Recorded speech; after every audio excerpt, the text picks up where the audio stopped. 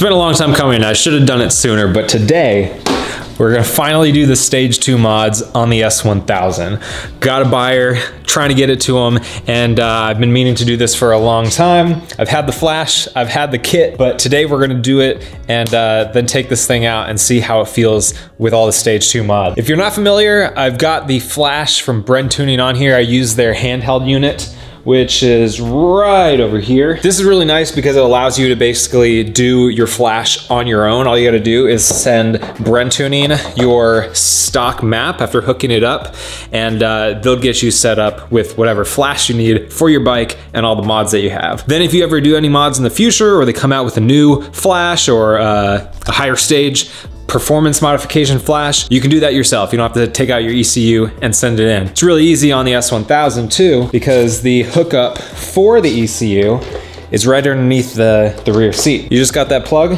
hook it up with the handheld, and you're good to go. Now, what you're gonna get with the Stage 2 kit, along with the flash for Stage 2, is their IAT relocation. So it has a temperature on the bike, but the location of the temperature is heavily dependent on the temperature of the motor, and so it can't really get a good temperature reading of the air based on its location. So it relocates it up to the front nose of the bike. The other thing you're gonna have is the flapper delete. So it takes off the flappers on the airbox so you have full airflow all the time. And to do those mods, we're gonna have to be taking off the tank on the bike. So a little bit involved, but shouldn't be too, too difficult. I have gotten down there before for the first time that I uh, took out the ECU, but what we're gonna be getting with this is a few different things, just bumping up the performance on the bike. Stage M Plus and Stage 1 from Bren Tuning takes care of most of the stuff that you're gonna notice on the S1000 stock. And stage two kind of just bumps it up a little bit and adds a few more features. So you're gonna get better octane adjustments based on what fuel you have in the bike. You're gonna have a better um, startup and idle. So right now with the stage one on here, when I start it up, it kind of bumps up to a higher idle and then after the bike warms up a little bit, it drops down. This has just a static idle and it manages much better so the bike doesn't stall on startup. Beyond that, we've got a few different things and you guys can check that out, link down below if you wanna get this for your bike. Like I said, we're gonna be taking off the tank on this bike. We'll have to take off the cover right here, the side panels to get to the tank. Of course, the seat will have to come off as well. We'll get down there and uh, I'll show you guys what's going on.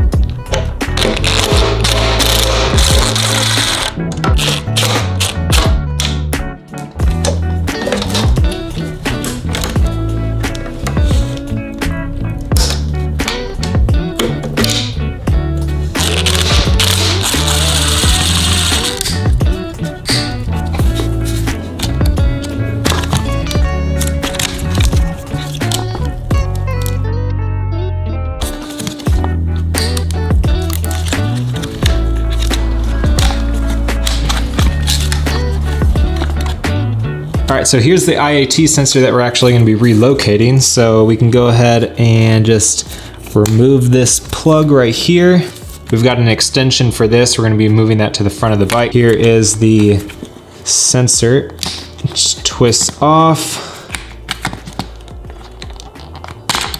And we're gonna be reusing this, so don't get rid of that. Bren Tuning's kit includes a plug for that. Got that right here. Just go ahead and plug that up and that part is done. Now that we've got that sensor removed, here is the extension cable that we're gonna be putting on the bike. And this is, again, gonna be relocating this sensor right here to the front of the bike. It's gonna be hard to see, so I'm not gonna record it because you guys wouldn't be able to see anything anyways. Bren Tuning has a really good video for this full install on their YouTube channel if you wanna know exactly how to install everything. If you want to watch the cinematic version, you can watch this. But uh, uh, I'm going to go ahead and get that on here, and I'll show you how it's routed, and uh, we'll move, move on from there. All right, real quick, let me just show you this while I've got it here. This is where you're going to be putting that cable through, right at the frame. There's two cables right here. And you're going to go inside of the frame right there. And it actually, if you push them down out of the way and then put the cable on the top of it, you can barely get that plug through there. It kind of widens just a little bit. Pull it right out. I double checked the, uh, the video from BrenTuning and they actually have it going underneath this bolt right here. So I had it coming up right here. I just pushed it back down, kind of shoved it with one finger on this side, grabbed it with the other finger from underneath here, and then you can put it right through this slot. And that way it'll come up just like that.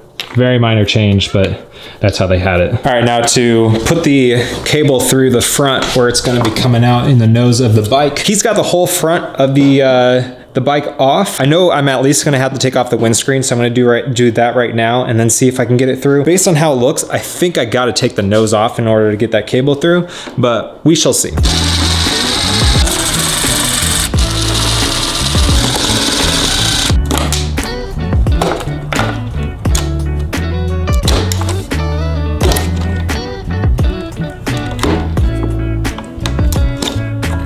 Now that I got the dash off there right now, I'll move this plug out of the way. Hopefully I don't lose it, but we're gonna be drilling a hole with a 5 16th bit right into the top of the nose right here. This is just plastic, and then the sensor can go right in there.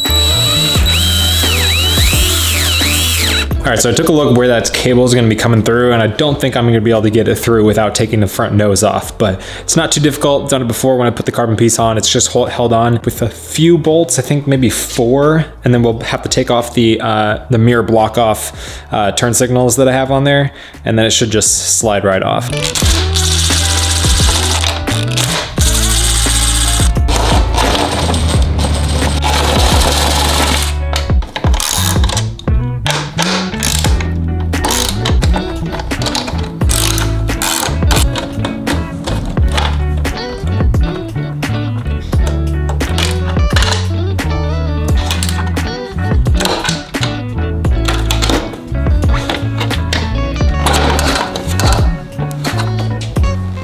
See here, mm, you probably can actually, but way back here, it comes it comes in between this piece and this piece underneath this bracket. And I think it's all even gonna take me some time to get it through there because it's a really tight fit. And then you'll be able to bring it up through through this hole right here and plug it into the sensor, which will go in that hole that we just drilled in. Good morning, everybody. We're back day two because I ran out of time yesterday, but we are uh, in the home stretch because I checked the product page for the Stage 2 kit and realized that you don't actually have to remove the flappers because with the, the flash that BrenTuning does for Stage 2, they can actually just control the flappers and just make sure that they're open, open all the time. For two reasons, I'm gonna go that route. One, it's easier. I don't have to take off the air box, unhook a lot of the stuff down here. And two, it's easily reversible. So you don't have to worry about for whatever reason. I don't know why you would, but if you wanted to have that flapper functionality back, you still got them in there. So you can just put a new flash on there that doesn't control the flappers and make sure they're open all the time. That'll save us some time. So let me go ahead and show you guys the uh, the plug situation that we got here. I started out with that 5 16th drill bit that I showed you guys. I had to bump it up to a 3 8 in order to be able to get that sensor in there, but it routes through here. Takes a lot of work with your fingers.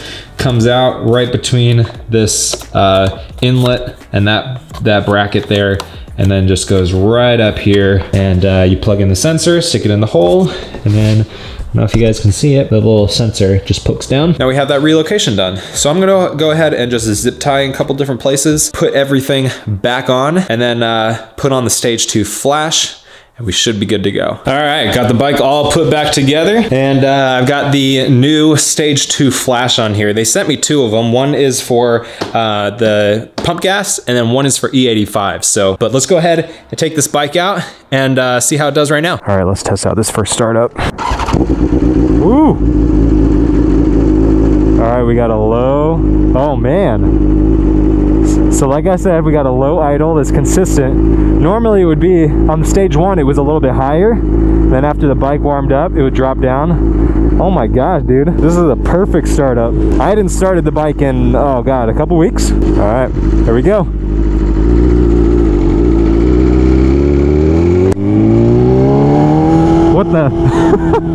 it's definitely louder at lower RPM. That's what those flappers are for. They have them closed at lower uh, lower RPM for for it to be quieter. Oh my gosh, dude. This is amazing. And I haven't even done anything yet. All right. So it's also got, I think they said 30% faster shifts. The hard thing is this bike is already incredible. It's already very smooth, especially after I've already done the ECU flash and whatnot. It's just an all around great bike. So finding, uh,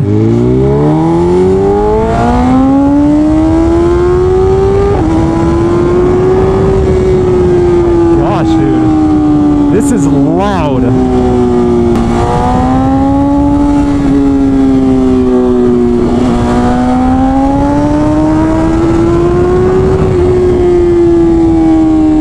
I know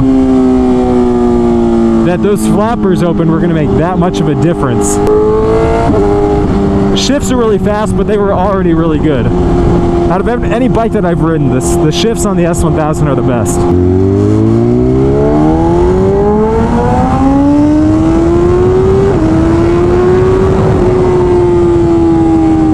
Man. The sound, that's the thing that I'm noticing the most right now. It's stupid fast, but again, this bike was already stupid fast. And I have, I have not gone 100% throttle yet It's nearly impossible on this thing. There's so much juice available. Yeah, oh, geez. Shifts. Perfect.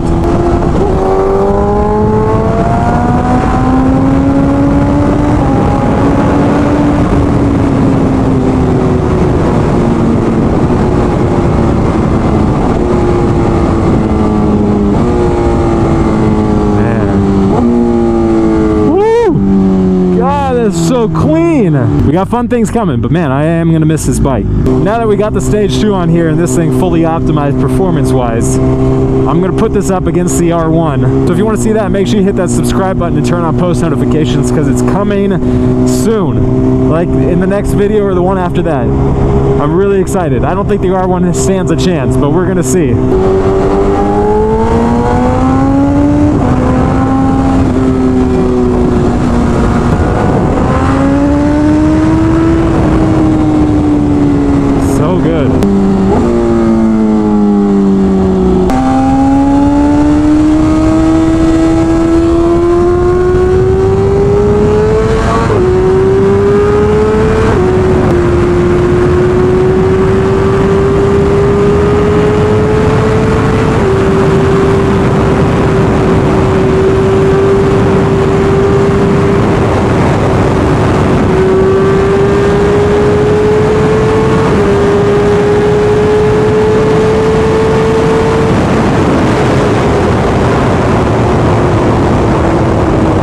Goodness, folks. That was amazing. Amazing, amazing.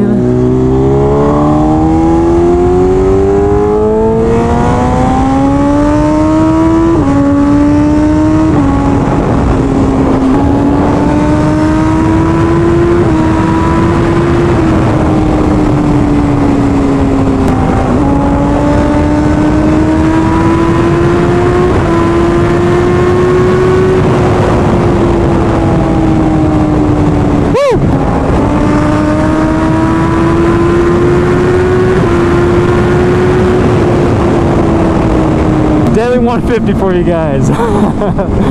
if you want to get any of my Daily 100 merch, make sure you guys hit that shop link down in the description, motonosity.com. Man, oh man, Bren Tuning has done awesome with this flash. If you guys want to check it out, get it for your bike. They don't just do the S1000, they always also do Ducatis and uh, the new R1. They do other stuff.